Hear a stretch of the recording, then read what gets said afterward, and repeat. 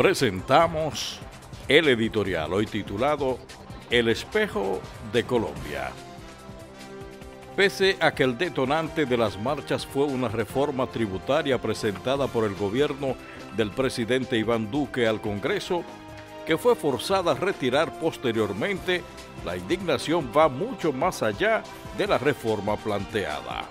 Las marchas tienen que ver con el mal manejo de la pandemia con más de 75 mil muertos, casi 3 millones de casos activos, las disparadas cifras de pobreza con 21 millones de personas en esa condición, el desempleo por encima de un 15%, el asesinato sistemático de más de 900 líderes sociales desde 2016, más de 27 mil desplazados internos en el primer trimestre de este año, y un proyecto de ley de reforma a la salud que ha recibido varias críticas.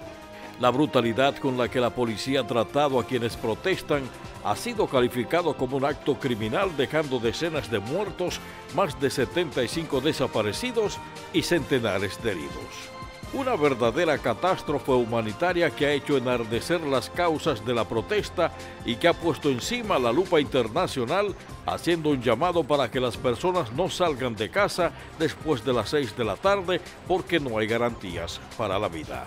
Todas las reformas fiscales son odiosas, pero en medio de una crisis mundial son imprudentes.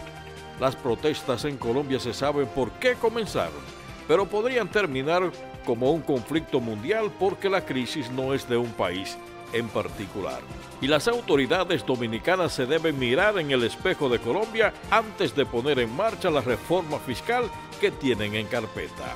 Que se recuerden de la masacre del 84 en el gobierno de Jorge Blanco, situación muy parecida a lo que hoy está viviendo Colombia.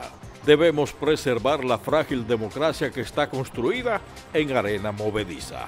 Ojalá que el presidente Luis Abinader no cometa la misma estupidez que su homólogo colombiano. Porque también aquí podría explotar la bomba. Y eso el gobierno del PRM tiene que evitarlo a cualquier precio.